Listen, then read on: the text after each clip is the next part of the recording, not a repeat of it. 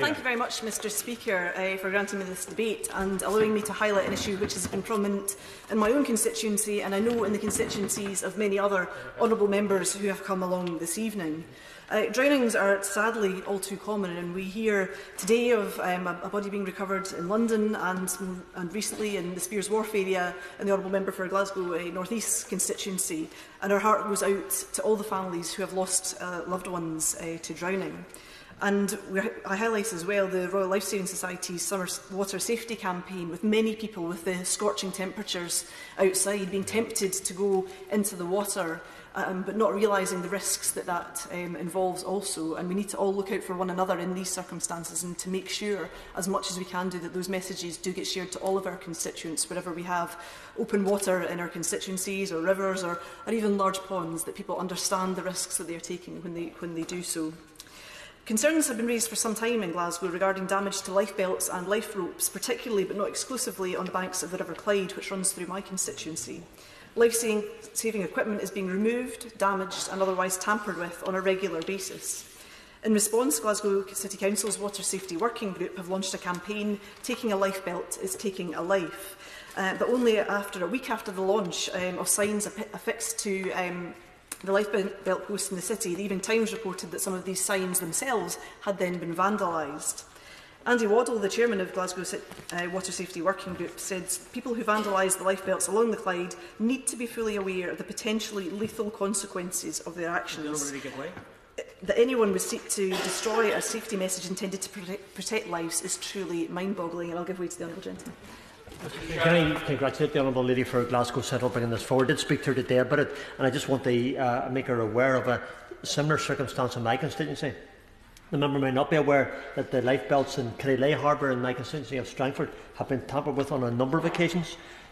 Does she agree with me that further steps have to be taken to ensure that safety equipment like this is not tampered with since the unavailability of life belts could lead to death and the prospect that fines are not enough and that indeed fines and penalties for this behaviour should be legally binding, which maybe the Minister can respond to, and, and of such levity that people will think twice before destroying life belts that could end up seeing someone die who just didn't have to.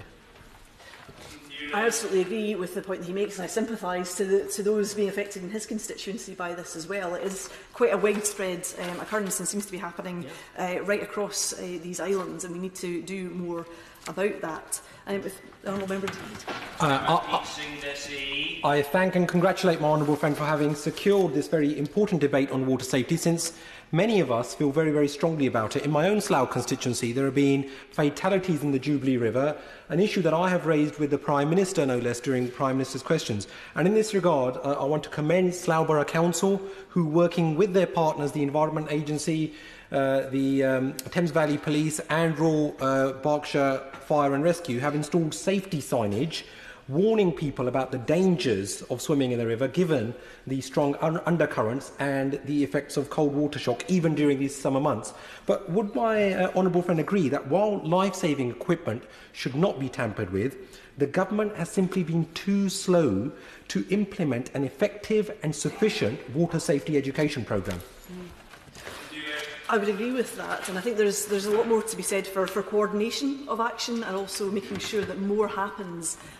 um, that um, there's not a piecemeal approach to water safety um, around uh, the UK.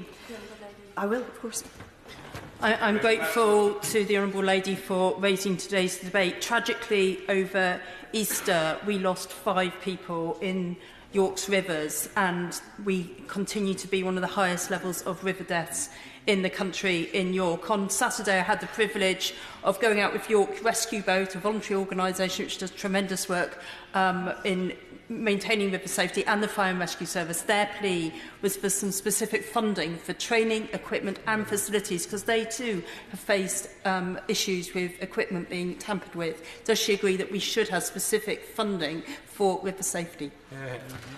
I sympathise with the, uh, the families of those who had lost loved ones in, in the York area. That sounds absolutely awful, the circumstances um, which she describes. And I would agree that there needs to be more done on funding uh, for these organisations because it feels very much to me as if a lot of this is left up to charity and to the goodwill of local organisations or councils rather than having a specific pot of funding.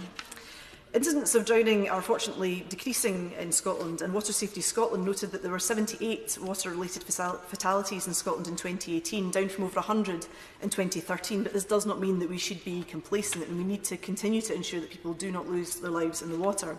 And I know also that the Scottish Government have designated 2020 the year of coasts and waters, and that seems like a good, as good an opportunity as any to discuss some of the, the, the issues around water safety, as well as uh, extolling the positive um, virtues of, of our coasts and waters and wider environment. I'm grateful to the Scottish Fire and Rescue Service who respond to water incidents as part of their duties, who provided some statistics which reveal that they attended 79 incidents on the Clyde last year, which is an increase of 13 on the previous year.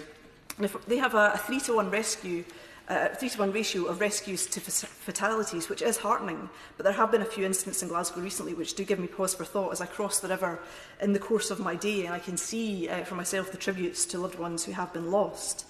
We're very fortunate in Glasgow not only to have the Water Safety Working Group, but to have a dedicated organisation watching over the safety of people using our waterways in the Glasgow Humane Society. The Society was founded in 1790 by members of the Royal College of Physicians and Surgeons of Glasgow, who employed an officer to carry out the practical work of drowning prevention, rescue and re the recovery of bodies from the river. Since then, they've sought to pursue water safety issues both in Glasgow and in the wider world under the stewardship of the great George Parsonage. The Clyde runs in his blood, Mr Speaker, having taken on the vocation um, in the Humane Society from his father, Benjamin Parsonage, and his own family are very much involved um, with the organisation in a more voluntary capacity. Did you already give way? I will do. most generous in giving way. I'm just uh, sitting here, Mr. Sure. Speaker, thinking of, of, of what the number is referring to. You referred to, to rivers, to seas, to beaches, uh, to lakes. Um, and, and my constituency, and probably in a lot of other constituencies, I, I suspect there's lots of quarries.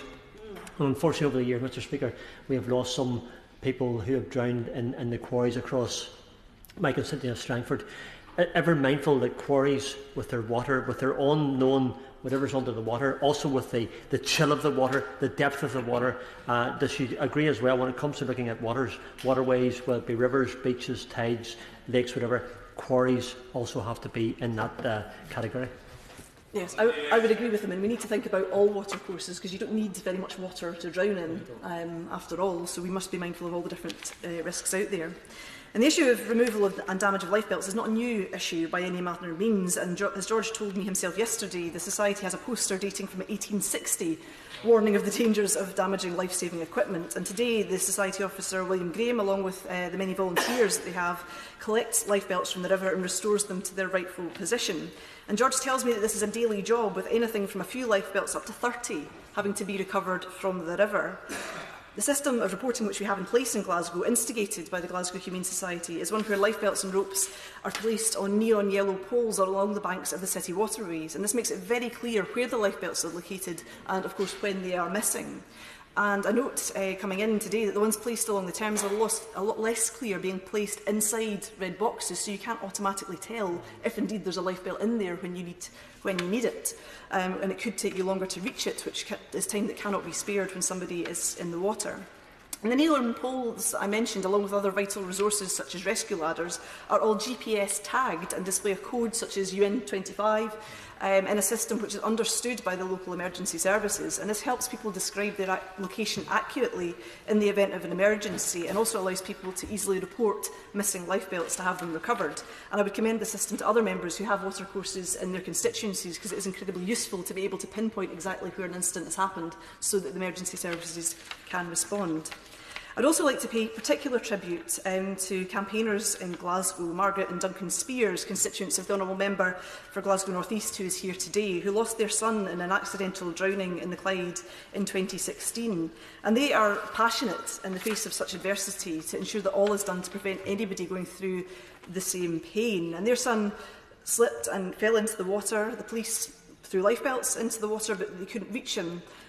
And he died in less than 10 minutes. The whole event was captured in CCTV, and I can't imagine how awful that must have been for Christopher's father, Duncan, watching that back, knowing that his son could have been so close to have being saved. And the Spears have been tireless campaigners on the issue of water safety ever since, and they've succeeded in getting Glasgow City Council to install ropes for life belts um, along the banks of the Clyde. And I'm sure all honourable members would commend the Spears on their campaign, um, and they very much hope that nobody has to experience what their family has gone through. They've taken the issue also to the Scottish Parliament to ask for improvements to add ropes to life belts uh, to make that more commonplace, as well as providing life ropes and throw bags. And they have sought more recently for the use of specifically marked ropes, so that should they be removed, they can be easily identified if they are found in somebody's possession, therefore sort of tracing that crime of removing them back to somebody. Because this is, Mr Speaker, part of the point. At the moment, if someone removes life-saving equipment and carelessly, recklessly throws that into the river, it's very hard to pursue them and to identify the perpetrators and to get some kind of resolution to that, particularly when waterways can be um, quite rural, quite isolated uh, as well. You cannot put CCTV on every single lifebelt post uh, within the city of Glasgow. So it's much that we need to do to uh, deter people from doing this in the first place.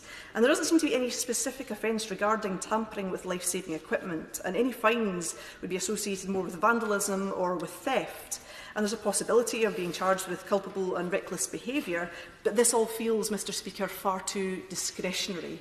And I'll give way to the Honourable Member for Glasgow.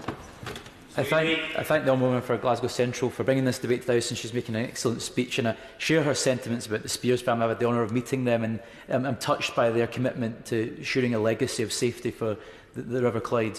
Um, in particular, the issue about safety of the lifebelt equipment and it's beggar's belief that someone would damage it or vandalise it in the way that has been done. Um, and also, of course, there's other campaigners such as Steph Shaw and the Think Again campaign um, around emergency lifeline telephones. There's a great effort by people in, the river, in Glasgow to try and solve some of the problems, and particularly in light of the death of John Connolly, the, the Forth and Clyde Canal extends to the canal as well. But my uh, honourable uh, member for Glasgow Central agree that we need to have much more effort around fundraising for equipment in the river as well, perhaps using charitable efforts to fundraise. I note that Glasgow City Council have purchased 21 um, ropes to fit to life belts in the Clyde this year, but perhaps we could have more capacity if some of the charity efforts of these groups were harnessed and we could further improve the capacity. I agree. There's always something to be to be said for charity fundraising and for um, a resource uh, of that kind being raised. But I think, as honourable members raised earlier on, um, we can't rely on that charity fundraising. I think that there needs to be more thought given to how you make this um, a lot more consistent, a lot more um, part of mainstream funding also, because it is life-saving equipment and it shouldn't rely just upon charity alone. Um, as I was saying, there's not really um, an appropriate offence to cover such um, such crimes as, as as I would call them to be crimes of tampering with life-saving equipment. And at the moment, there are, there are different things that local authorities can do, and there was a recent incident in the Salford Keys which prompted the authorities there to use a public spaces protection order, which is under the law in England to prevent people interfering with safety equipment. But this only occurs a £90 fine, £60 if paid in 10 days. Apparently, this could end up in court if those fines are not paid, but it still seems to me not to get the balance quite right, given the gravity of um, what people are doing here, because after all, this is life-saving equipment. And the cost to Salford Council in replacing the equipment and making the system more secure, as was reported in the Manchester Evening News, to be £34,000, money that should not have to be spent if people didn't engage in such mindless behaviour. So I turn, Mr Speaker, to my asks of the Minister. I seek to find out if more can be done to catalogue, first of all, the availability of water safety equipment to ensure that as many water courses as possible can have the reassurance of access to life-saving equipment.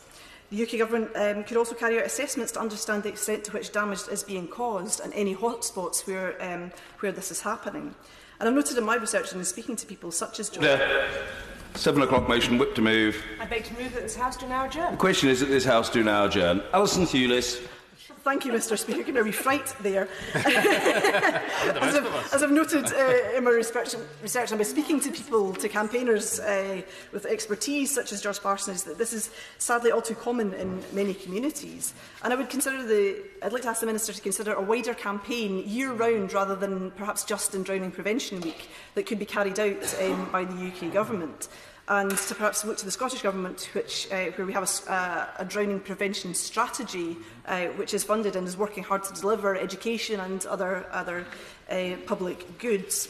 I'm struck also, as um, the Honourable Member for Strangford hinted at earlier, that the, is a lack of penalty uh, for the undoubted public harm of tampering, tampering with life-saving equipment. And I've, I'm, I've come to the belief that there ought to be um, a specific aggravated offence related to tampering with life-saving equipment.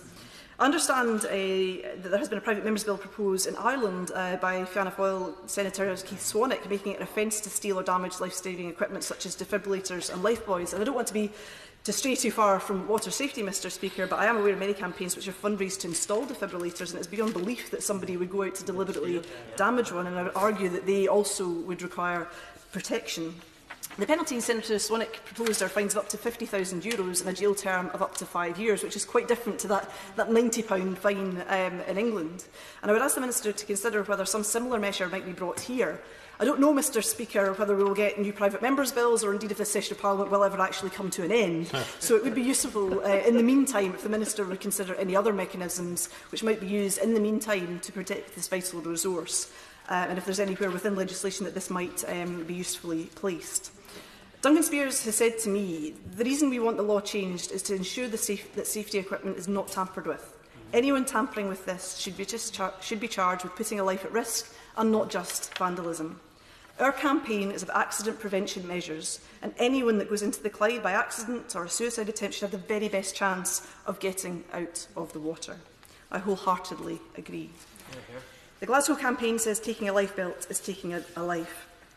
And I would ask the Minister to give her support to that campaign and to do all in her power to ensure that life-saving equipment is always there for those who need it in their moment in greatest need. Thank you, Thank you. I call the Minister.